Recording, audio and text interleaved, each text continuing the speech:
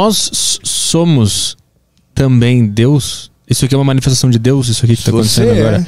E- Então, quando a gente duvida ou, ou questiona Deus, é, é o próprio Deus se questionando. Não. É você não alcançando quem você é, porque a maioria de nós não alcança quem pode ser. Em Cristo Jesus, eu sei quem Deus é e sei quem eu devo ser. Essa é que é a maravilha. Eu sou tão feito à imagem e semelhança de Deus, isso não é corpóreo, é espiritual. Eu tenho essa capacidade de fazer esse loop existencial e dizer eu sou que é o que Deus é. Quando Moisés perguntou: A quem eu direi no Egito que me enviou para libertar o povo?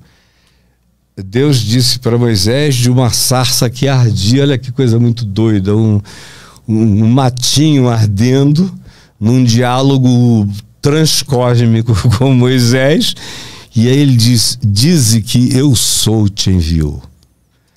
Eu sou te enviou, aquele que é te enviou. Então, Deus é indesignável, inominável. Por isso, os judeus, o nome de Deus para os judeus é praticamente um nome impronunciável.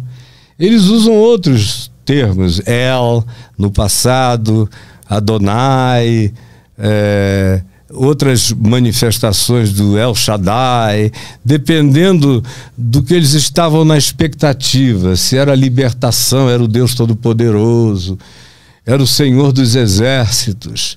Aí você vê que tem horas em que o Senhor dos Exércitos não tem nada a ver com o exército que vai lutar aqui.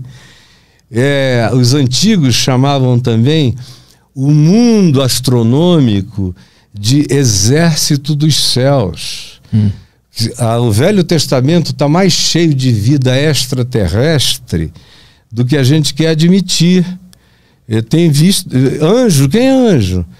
Ele não nasceu em Nova Iguaçu, nem em lugar nenhum. E- e são caras que vêm de fora.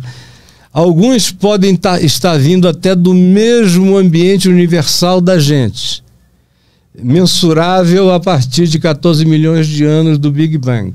Mas esse não é necessariamente o único, o único universo.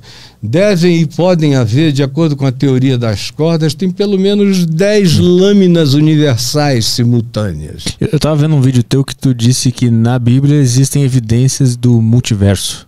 Ah, sim. Como é isso? Os próprios anjos, Aham. que são seres que vêm do nada, entram numa chama de fogo e desaparecem. Ou você tem todo tipo de anjo, você tem dez categorias de seres angelicais. É que o nome dado aos anjos é o nome mensageiro, é o carteiro, é o, é o e-mail divino, é o- a comunicação. Ele é o cara que leva a mensagem. É o Zap. É o Zap. Aham. E, e é um ser existente. Agora, ele tem todas as formas, tanto quanto ele adquire formas. Tem categorias angelicais que ficam iguaizinhos a um ser humano. Andam com o ser humano e o cara não percebe que está andando com o anjo só depois. Mas tem aqueles que já chegam arrebentando. São chamas de fogo falando com você. Mas isso as pessoas daqui veem? Hã? Mas isso nós humanos, a gente consegue ver isso? Ter acesso a isso? Conseguimos os, os seres do- da Bíblia e do Novo Testamento viram, tanto quanto eu já vi. Eu já vi. E, por exemplo, para a gente não falar de anjo chegando, oi, Caio, meu filho, não sei o que e tal, isso eu nunca aconteceu comigo. Eu ouço dentro de mim.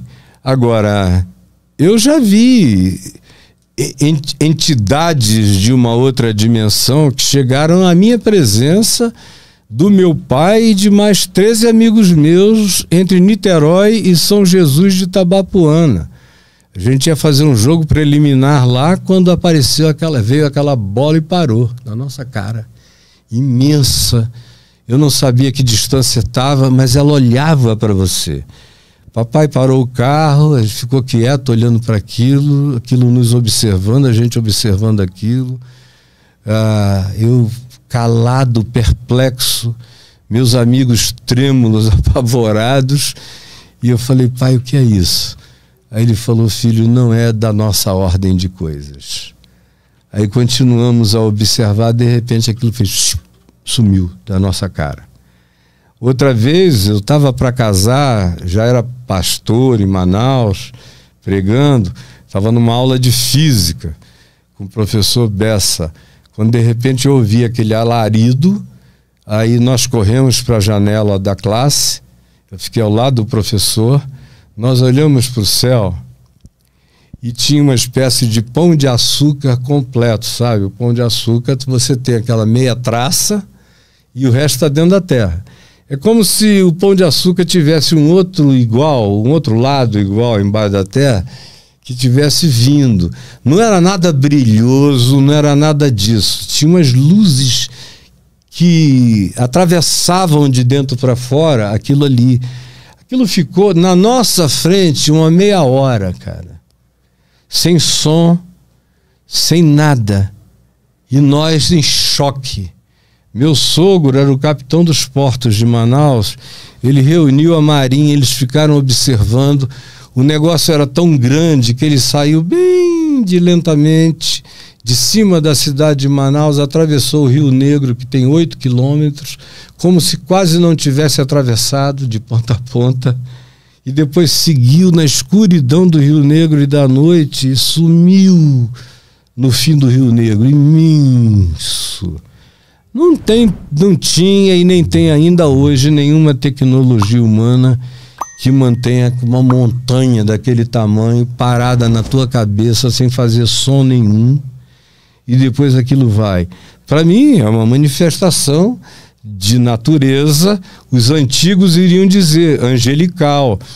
Como Ezequiel, no capítulo 1 do livro de Ezequiel, eles estavam no exílio em Babilônia e agora já estavam na Pérsia, já era domínio persa, às margens do rio Ulá.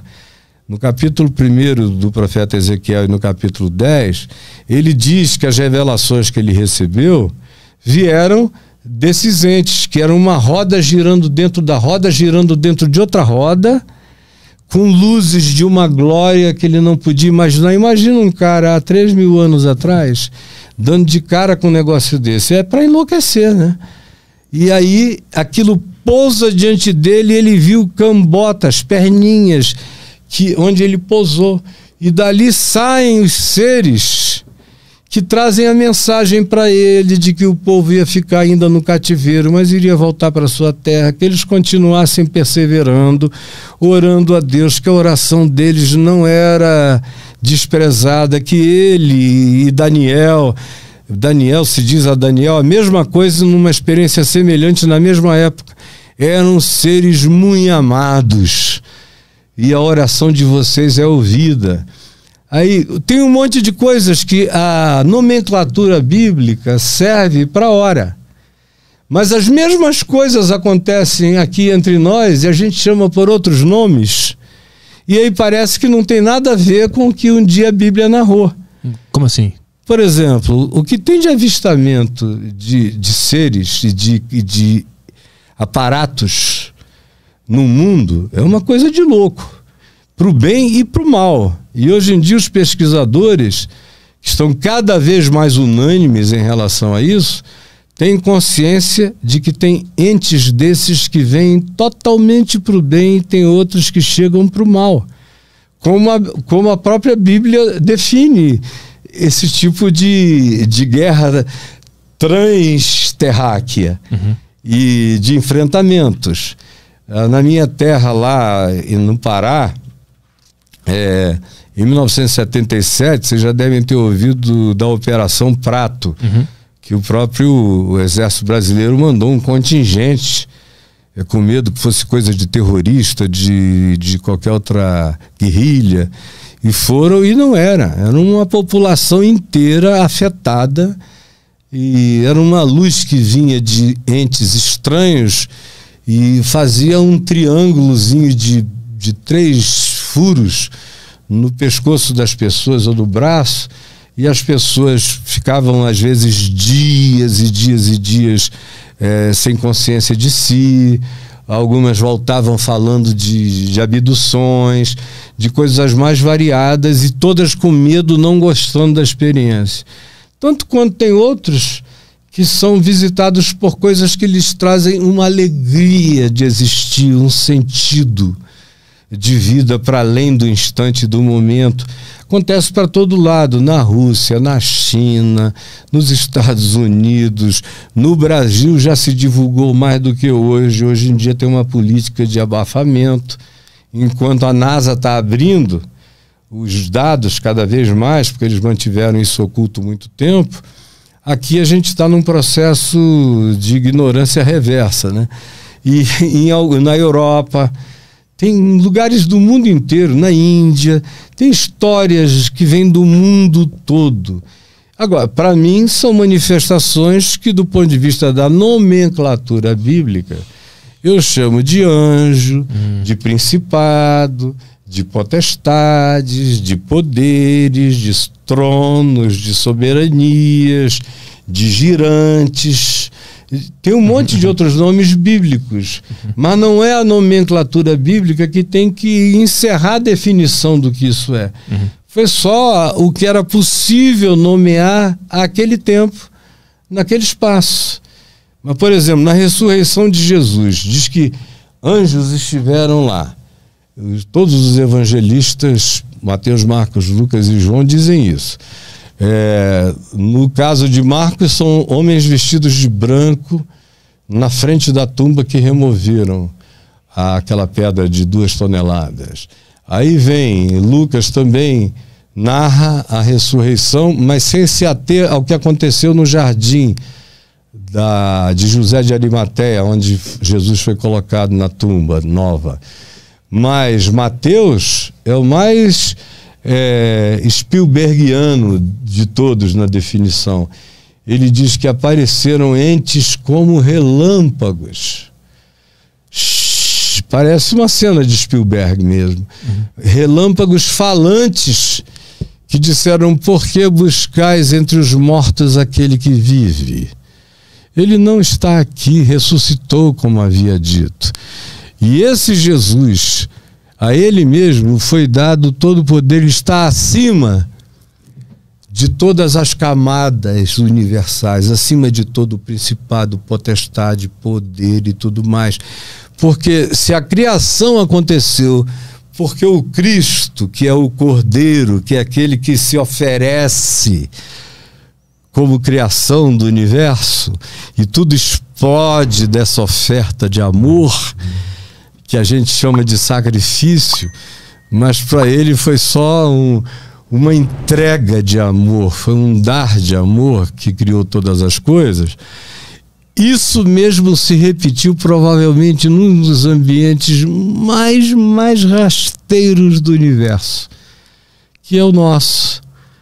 Porque ele, sendo Deus, Paulo diz, não julgou como usurpação o ser igual a Deus, antes a si mesmo se esvaziou. Ele está se referindo a uma coisa que já tinha acontecido antes e que agora está se repetindo na plenitude da história humana, no Império Romano, tudo mais. Antes a si mesmo se esvaziou e reconhecido como figura humana, foi humilhado até a morte morte de cruz pelo que Deus o exaltou e lhe deu o nome que está acima de todo nome no céu, na terra e debaixo da terra, para que todas as criaturas confessem que Jesus Cristo é o Senhor, para a glória de Deus o Pai. Então, o que estava acontecendo ali há dois mil anos atrás na Palestina tinha consequências cósmicas em todos os níveis, como os apóstolos dizem, que aquilo se transformou em espetáculo para anjos, hum. para principados e potestades, porque aquela entrega era uma coisa tão louca, aquele era um amor tão maluco, aquela era uma oferta tão indescritivelmente divina que não dava para conceber. Aquele é o extremo do amor. Por isso é que eu comecei te dizendo que amor é uma escolha. E amor por quem te ama, por quem te desama, por quem te odeia, por todos. É, um, é, um, é quem você é. Amor é quem eu escolho ser. E foi a escolha de Jesus. O Cristo habitava Jesus. Mas o Cristo é anterior a Jesus. Jesus nasceu no espaço-tempo. Filho de Maria. com uma inseminação alienígena, que a gente sabe pela declaração bíblica que foi obra do Espírito Santo nela. Mas é alienígena o acontecimento. Um óvulo com uma indesignabilidade fertilizante. Uhum. E ele nasceu dessa junção. Então, Jesus nasceu no espaço-tempo. Agora, o Cristo de Deus nunca não foi. E todas as coisas são por meio dele, para ele e existem nele. Agora vai dormir com esse barulho, né?